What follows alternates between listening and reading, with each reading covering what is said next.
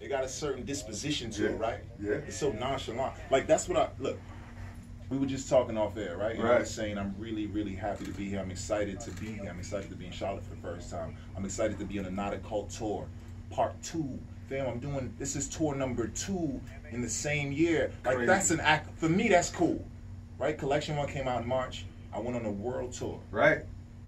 I, I saw the U.S. I saw Europe in ways that I've never seen it. I went to Santorini, Greece, in my silk pajamas. They're not really pajamas, but just so I could relate though.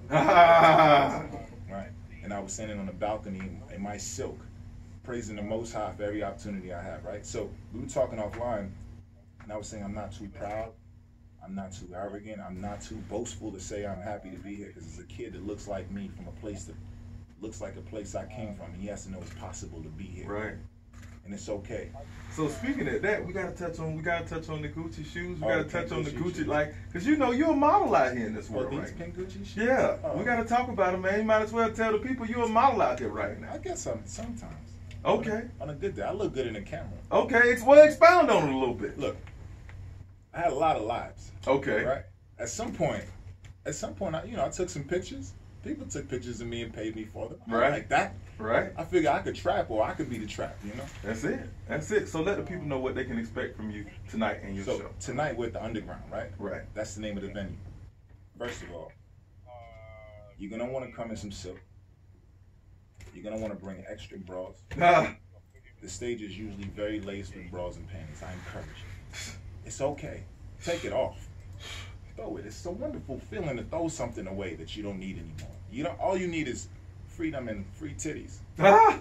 I'm very supportive of free titties. Huh. I might institute a policy. I might do this. Somebody stop me, please. Nobody in the room to stop me. You gotta stop. I might say, I might say going forward, the strippers getting all my shows for free. Whoa!